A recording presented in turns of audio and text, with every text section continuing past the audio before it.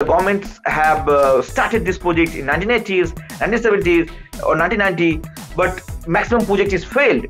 To manage the flood, I think uh, the multi-sectoral uh, management policy uh, uh, had to be implemented. Not only the post-flood management or or, or flood rescue manage uh, uh, strategies. A, a, single point or a single strategy cannot help to to solve the flood problem in Assam.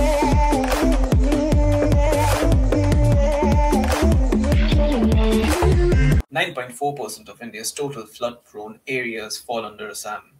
Every year there's devastating floods during the monsoons. The total amount of loss which was recorded in 2004 was almost 800 crores.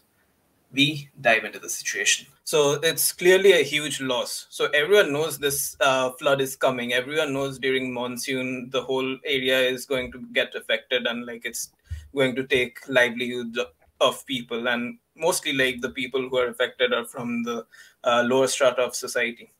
So, uh, is Assam being neglected in that way, or does the government doesn't have anything to do because it's a natural phenomena?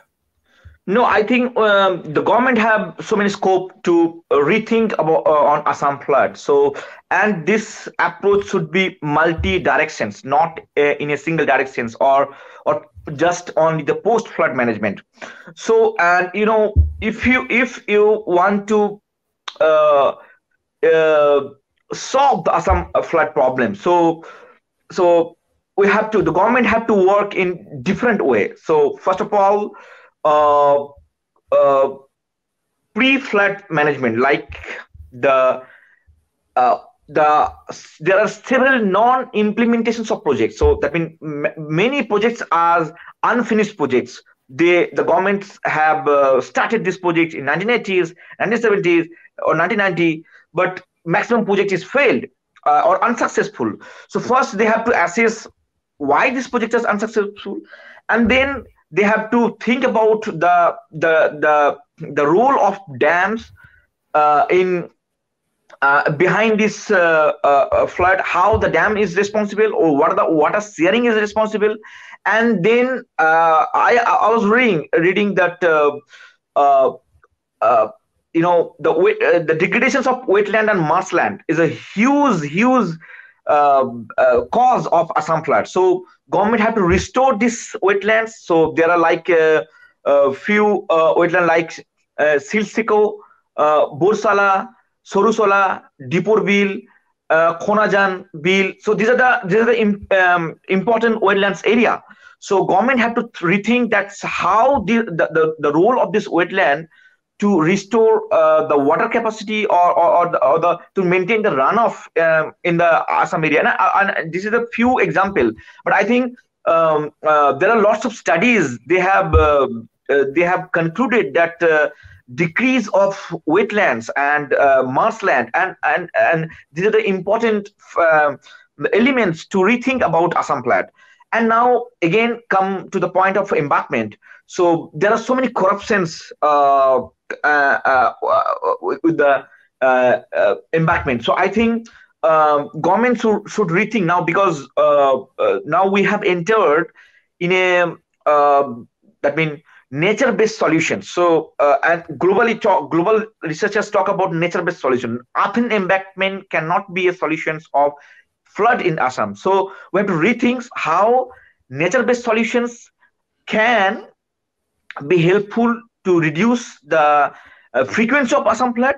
So I think the, so there, then if we um, uh, that means if government have to implement the nature-based solution, then multi-sectoral dialogues is important. Like stakeholder uh, like different environmentals uh, uh, NGOs, academicians, and those who are living in this uh, flood for, for for generation to generations, we have to uh, uh, include their knowledge. So the the indigenous people, those who are, who are living in this area, and also the char dwellers, how that means their role to encroach or their role how they are impacting on on the riverbed. So this is the, the that means the to manage the flood, I think uh, the multi-sectoral uh, management policy uh, uh, had to be implemented. Not only the post-flood management or or, or flood rescue manage uh, uh, strategy. So I think before flood, or they have to understand the the multi-sectoral